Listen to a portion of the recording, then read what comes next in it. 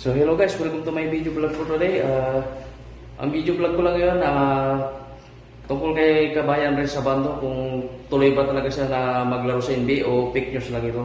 So sa katunayan talaga Kabayan, uh, tinignan ko kanina yung sa balita talaga, fake news lang din naman yun. So ipapakita ko sa inyo kung bakit fake news. So may ginawa akong account dito na pwede natin pagtanungan yung Bing Microsoft. Kasi dito ko tinatanong kung may gusto kong impormasyon. Kaya kung ano yung natanong ko dito, uh, ibinablog ko na rin. Pero bago ako mag-start, before I start my video, uh, may information about Red Sabando, the Gilas Pilipinas player in basketball, performance World Cup. Why why not uh, play in NBA? I would like to introduce my Nepali friend, uh, Bahadur. is a good friend from Nepal, right? Yes, right. Aywa, ha? Shout out to your kabayan, Nepal. Yeah. Very good this. He like to make my video, that's why I making like this. So I will back to my topic ha. So balik na ako sa topic ko. So i-send ko na siya. So ayan, malalaman natin kung bakit. So yan, sasagot yan. Unti-unti na. Resabando, NBA. Ayan.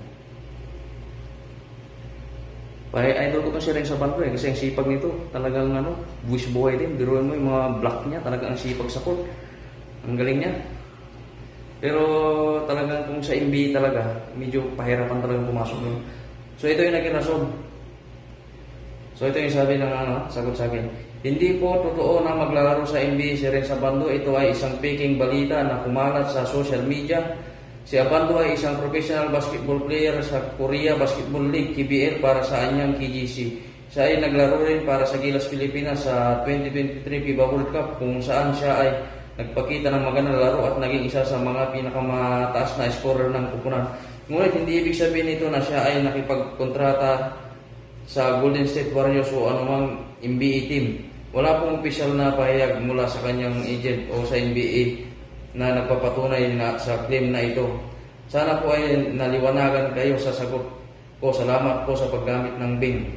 So, yan. Yun yung sagot ni Bing Microsoft. So, tingnan natin kung mayroong suggested dito. So, wala na.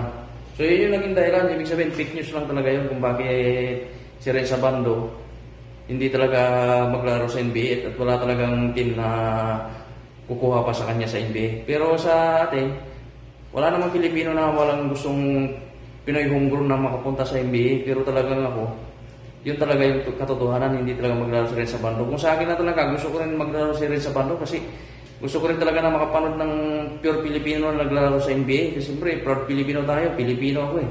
So, Nakita naman yung guys, yung explanation ko guys. So hanggang dyan lang guys, ang aking video for today guys. Maraming salamat guys.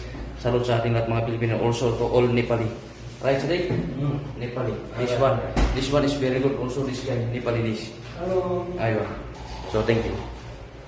Thank you. Aywa ha.